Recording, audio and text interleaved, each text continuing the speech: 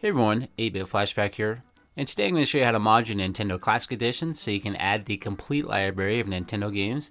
And I'm also going to show you how to install RetroArch so you can play games from systems like Super Nintendo, Sega Genesis, Game Boy, and more. And I recently just purchased the re-release of the Nintendo Classic Edition, and that's what I'm going to be modding today, but this should work on all Nintendo Classic Editions. So let's get started.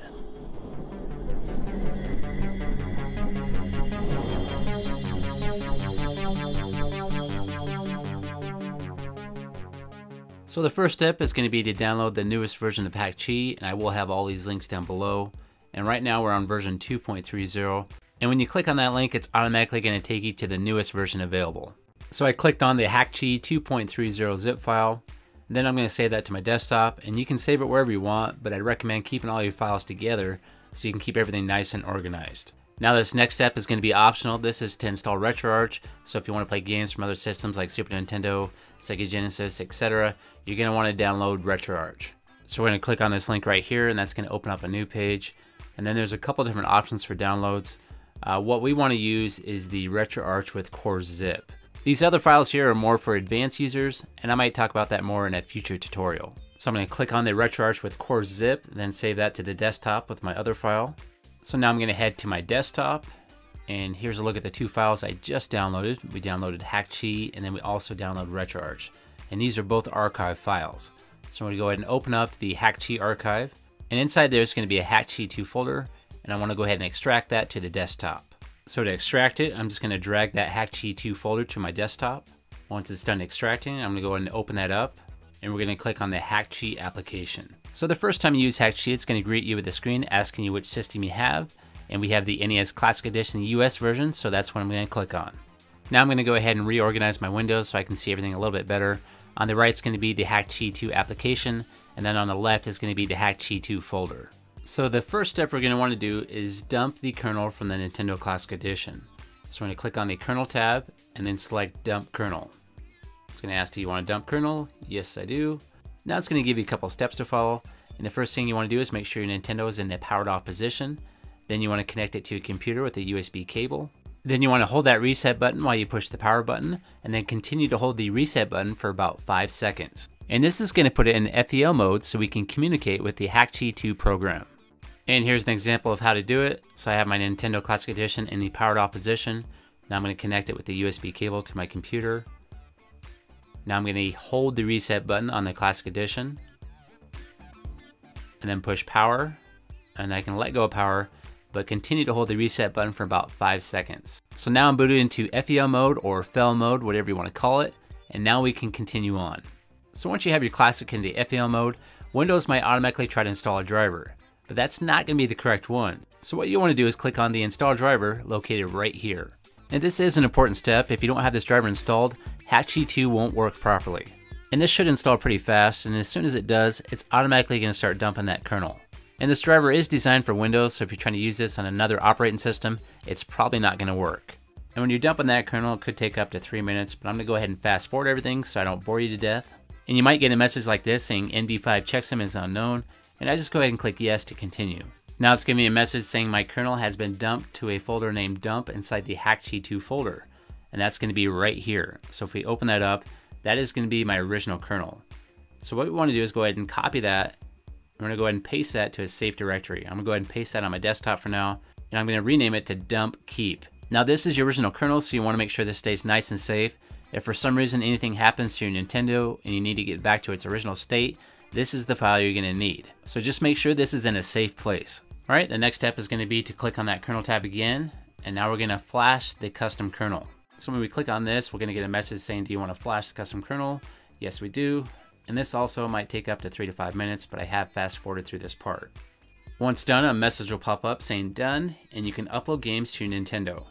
And now notice at the bottom we have a green light, and it's also showing our memory. So we have 322 megabytes available. So our console is now modded to be able to install games, but if for some reason you want to go ahead and install everything and get it back to its original state, you want to go up to this kernel tab then click on uninstall, then follow all the prompts. And after you're done going through the uninstall process, it's gonna ask if you wanna flash the original kernel back. Then you'll click on that. Then your Nintendo will be back to its original state. So that's just for your information, just so you know. So now it's time to add some games and locate on my computer I do have the full set of Nintendo games and these are in archive format. And you can also add games that are not archived, they just need to be in a .NES format.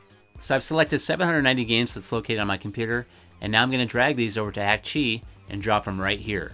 So when you add this many games you might run into a couple conflicts like right here it's asking do you want to patch Zoda's Revenge so just go ahead and check yes for all. And if you get any other conflicts just go ahead and select yes for all.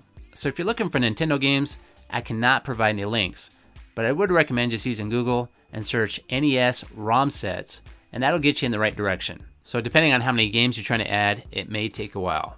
Once you have all your games added to Hakchi, you can download some box art if you choose. So with all these games here I have selected highlighted in blue, I'm gonna go ahead and right click and then select download box art for selected games. Now this step did take the longest, it took about 20 minutes because I was trying to find artwork for about 790 games. So downloading the box art is not necessary, but it sure looks a lot better. And notice now the memory is at 133 megabytes out of 322, so I still have a little bit of memory left over. So at this point, if all you want to do is just play Nintendo games, then we don't have to go any further. All we have to do is click Synchronize Selected Games at the bottom. And as far as the settings go, I'm not going to mess with anything, but you do have some options. But if you're a beginner, I would not recommend messing with any of these settings. I would just leave them the way they are until you get some games up and running. And I do have a guide that kind of explains this a little bit more on how to make custom folders, and that is for the Super Nintendo Classic Edition. But that same guide will also work for the Nintendo Classic Edition. So now I'm going to go ahead and add RetroArch so I can play games from systems like the Super Nintendo and Sega Genesis. So I'm going to go ahead and click on this archive right here, and drag this over to the Hakchi and drop it right here. Now a window should pop up asking which modules I want to install and it's already pre-checked a bunch of them so you can just leave it the way it is or select just the emulators you want. And on each of these, if you highlight it, it gives a description of what it is.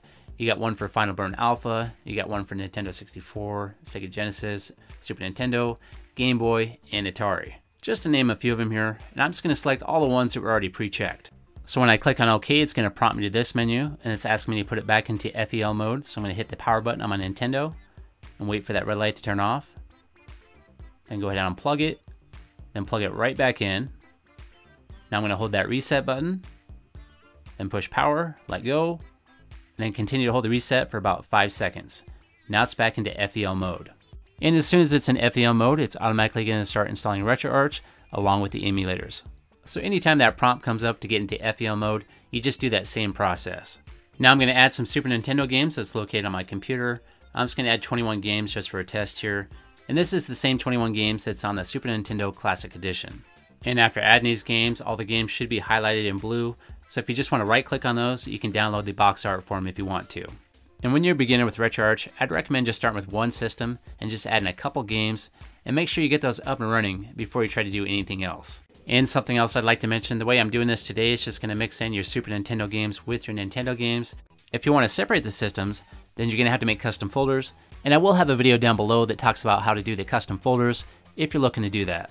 So now it's time to synchronize the selected games, and when I click this button, all the games that are checked on the left are going to load onto my Nintendo Classic Edition. And once again, this may take a while, it just depends on how many games you're trying to add.